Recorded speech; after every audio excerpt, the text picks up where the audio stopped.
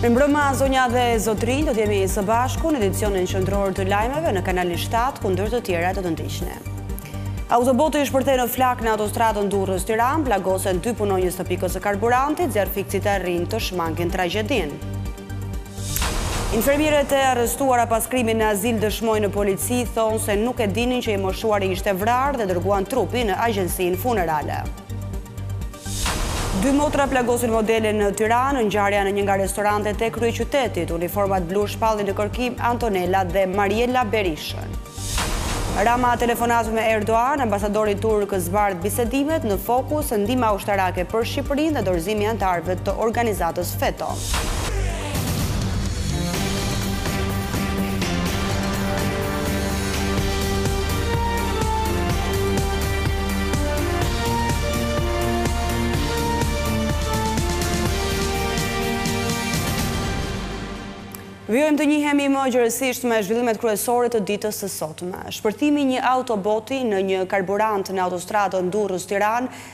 Për pak sa nuk u shndërrua në një tragjedi. Shpërthimi ndodhi në momentin kur po mbusheshin depozitat e karburantit. Dy punëtorë mbetën të plagosur, ndërsa zjarrfikësit arritën të shmangnin përfshirjen e cisternave nga flakët, çka mund të kishte sjellë pasoja të rënda. Një ngjarje e rëndë që mund të kishte përfunduar në tragjedi u regjistrua pasditen e kësaj të premteje në autostradën Durrës-Tiranë, në një pikë karburanti. Një autobot që po shkarkonte karburant u përfshi papritur nga flakët dhe shpërtheu, duke plagosur dy punonjës të karburantit, njëzet dhe tridhjetë e pesë vjeç. Zona u rrethua menjëherë nga policia, që evakuoi personat e tjerë të cilët ndodheshin aty pranë. Ndërsa në vendin e ngjarjes mbërritën edhe forcat zjarrfikëse që izoluan flakët duke shmangur përfshirjen nga zjarri të cisternave me karburant.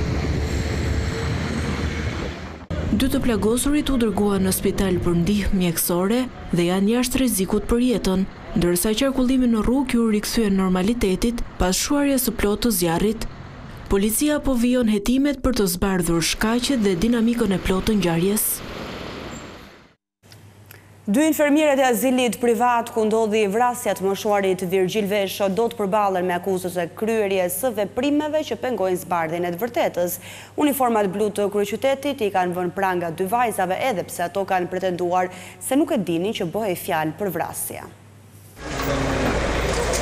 Menduam se ishte rrëzuar dhe kishte vdekur kur e gjetëm. Kështu kanë pretenduar gjatë dëshmisë së tyre dy infermieret e azilit tashmë të arrestuara nga Policia e Tiranës. Ato u prangosën pas vrasjes së të moshuarit Virgjil Vesho në azilin privat Ruaje Moshën në afërsi të Ali Demit. Pretendimet e infermiereve Nazime Mulla dhe Glesantina Saraçi nuk i ka bindur hetuesit e policisë, të cilët i arrestuan ato me akuzën kryerje e veprimeve që pengojnë të vërtetën. Megjithatë, grupi hetimor ka dyshime se infermieret nuk kanë kryer punën e tyre siç duhet dhe mbi faktin që nuk kanë marrë në telefon policinë për të denoncuar ngjarjen. Ato kanë njoftuar agjencinë e funeralit, të cilët kanë shkuar dhe kanë marrë trupin e mbështjellë me çarçaf. Ishte stafi i agjencisë, të cilët pasi kanë parë trupin, kanë vërejtur dëmtimet në kokë. Më pas, e kanë kthyer trupin në azil dhe kanë njoftuar policinë. Efektivët kanë këqyrur kamerat e sigurisë dhe pasi morën në pyetje infermieret, ato janë shprehur se fillimisht nuk e kanë kuptuar se i moshuari ishte vrarë, por kishin menduar se ngjarja ishte aksidentale. Autori Zyhdi Shehi vuan nga skleroza dhe sëmundje të tjera. Shkak i sulmit ka qenë një konflikt banal mes dy të moshuarve për krevatin. Modelja njëzet e katër vjeçare Klea Prenga është rrahur barbarisht dhe është goditur me shishe qelqi duke pësuar dëmtime serioze në fytyrë.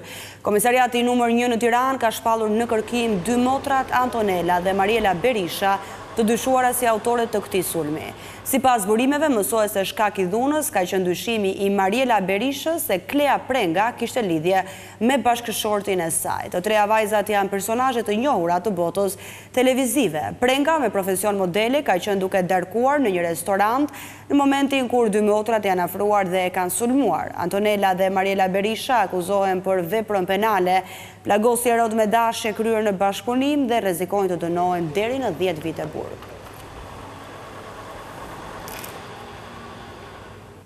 Pas muajsh hetime, ekspertët e krimit kibernetik kanë arritur të zbulojnë autorin e përndjekjes online të disa vajzave. Fabian Dodaj nga burgu ku vuan dënimin në Francë, ishte kthyer në tmerrin e të rejave të cilat i shantazhonte nëpërmjet hapjes së profileve të rrema.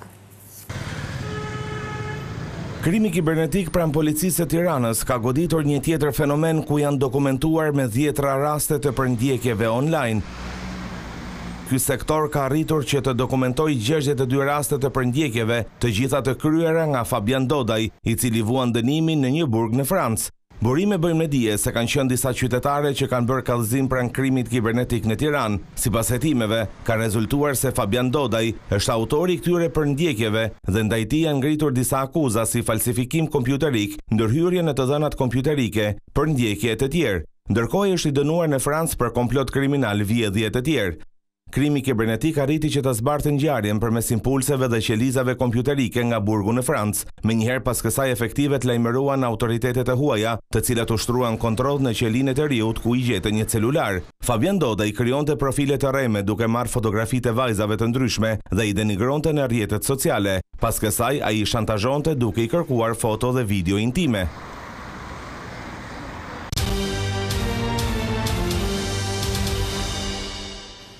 Shqipëria pritet të marrë të tjera pajisje të rëndësishme ushtarake nga Ankaraja, kjo është konfirmuar nga ambasadori turk në vendin tonë, i cili i është referuar bisedës telefonike të kryeministrit Rama me presidentin Erdogan.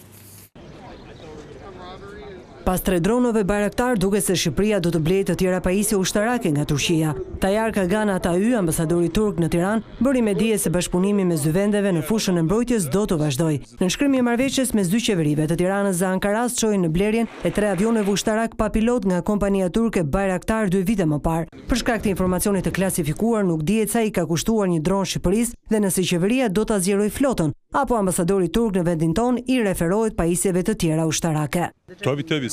Partneriteti strategjik do të vazhdojë. Shqipëria ka blerë nga Turqia dronët Bayraktar. Këto marrëdhënie do të vazhdojnë. Siç e thatë dhe ju, Turqia është shumë e zhvilluar në fushën e mbrojtjes. Sot ishin tre dronë, nesër do të jenë pajisje të tjera. Një ditë më parë presidenti i Turqisë, Rexhep Erdogan zhvilloi një bisedë telefonike me kryeministrin Edi Rama. Në lajmin e bërë publik nga agjencia shtetërore Anadolu, thuhet se pastrimi i organizatës FETO nga Shqipëria është një çështje me rëndësi për Turqinë. Lidhur me organizatën FETO duhet të pyesni kryeministrin Edi Rama se si është përgjigjur në telefonatë, por mund të them se pjesa e pastrimit të FETO-s nga Shqipëria nuk është vetëm çështje e Turqisë, Është edhe çështje e shtetit shqiptar. Ata janë të rrezikshëm. Ky pastrim nuk duhet të bëhet vetëm për Turqinë, por edhe për një të ardhme më të sigurt të vendit tuaj. Në deklaratën e tij për mediat nga Korça, Tayyar Kagan Atay paralajmëron se do të ketë zhvillime të reja për sa i përket pranisë së FETO-s në vendin tonë dhe që për Turqinë është organizatë terroriste pas grushtit të dështuar të shtetit në dy mijë e gjashtëmbëdhjetën. Do të marrim përfundimet për këtë temë, ka zhvillime. Dua ta theksoj se FETÖ nuk do të jetë pengesë për vazhdimin e partneritetit miqësor tek të dyja vendet. Nuk do të lejojmë që të helmojnë miqësinë midis dy shteteve. Kjo është punë që ne do t'i shkojmë deri në fund. Çdo zyrtar i lartë turk që ka vizituar vendin tonë i ka kërkuar qeverisë që të largojë nga Shqipëria mbështetësit e Fethullah Gülenit dhe të mbyllë çdo organizatë apo institucion arsimor që financohen nga të ashtuquajturit gülenistë. Zjarret që vijojnë prej disa ditësh kanë shkrumbuar masivet pyjore në zonën e Bulqizës edhe në juglindje e flakët kanë shkaktuar dëme të konsiderueshme, ndërsa terreni i thyer vështirëson ndërhyrjen e forcave zjarrfikëse. Zjarri në kurorën e Liqenit të Zi në Bulqizë ka dalë jashtë kontrollit. Autoritetet bëjnë thirrje për ndërhyrje nga ajri pasi flakët nuk po vihen nën kontroll. Pas gjithë përpjekjeve të bëra nga toka për shtatë ditë me radhë ka qenë e pamundur që flakët të shuhen plotësisht, teksa këtë të premte janë shfaqur disa vatra të reja zjarri, të cilat janë favorizuar nga era e fortë. Zjarri në malin e Tërnovës në Bulqizë ka djegur disa hektarë pyll me pemë shekullore. Po ashtu, një vatër me përmasa të mëdha vijon prej tre ditësh në juglindje të vendit në Malin e Thatë nga ana e Maqedonisë së Veriut. Zjarri ka përfshirë jo vetëm bimësinë e ulët por edhe bimët medicinale e kullotat në anën shqiptare të këtij vargmali. Flakët janë përhapur me shpejtësi si pasojë e erës dhe temperaturave të larta, ndërsa janë angazhuar forca të shumta të shërbimit zjarrfikës të palës maqedonase por edhe ato të Bashkisë së Pustecit, përfshirë edhe punonjës të zonave të mbrojtura, duke bërë të mundur izolimin e zjarrit. Edhe Parku Kombëtar i Prespës rrezikohet nga vatrat e zjarrit në afërsi të tij. Ndaj për të shmangur sa më shumë afrimin e flakëve, forcat zjarrfikëse janë duke mbajtur nën kontroll këtë zonë. Dy mjete u përfshinë në një aksident rrugor në aksin Korçë-Pogradec pasditen e kësaj të premteje, një mjet tip Opel dhe një furgon mallrash u përplasën me njëri-tjetrin dhe për pasojë makina doli nga rruga dhe u përmbys jashtë saj. Nga përplasja mbetën të plagosur lehtë dy persona, të cilët u dërguan në spitalin e Korçës për të marrë ndihmën mjekësore.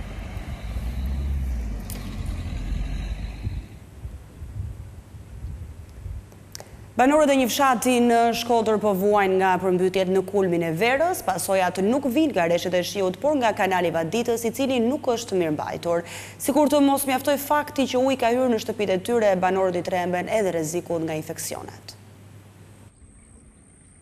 Jo vetëm në dimër, por edhe gjatë verës banorët e fshatit Mali Hebe në bashkinë Shkodër po përballen me përmbytje.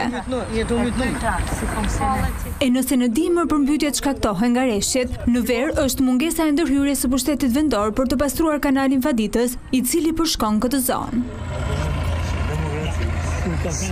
Mbeturinat janë prezente në të gjithë gjatësinë e tij, ndërsa banorët thonë se situata sa vjen dhe bëhet më shqetësuese, pasi uji ka depërtuar në oborre dhe banesa.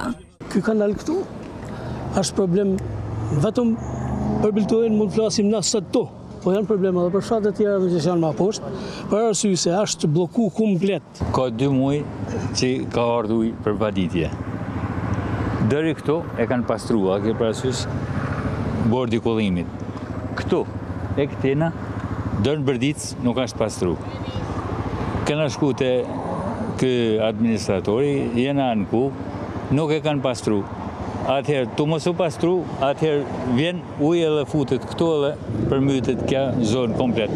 Kati i parë i kësaj banese fare pranë me rrugën nacionale është në ujë dhe kryefamiljari i kthyer për pushime nga Italia tregon se i është dashur të hedhë të gjithë materialin ndërtimor që ka patur të vendosur në të.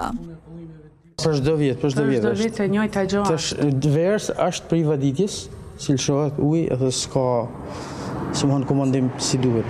Dimnit janë që bin shinat edhe fryhet se s'ka kullime edhe kena tan kohën këtë problem. Dëme janë shkaktuar edhe në kulturat bujqësore si në rastin e kësaj vreshte që gjendet e gjitha në ujë ku prodhimi ka shkuar dëm.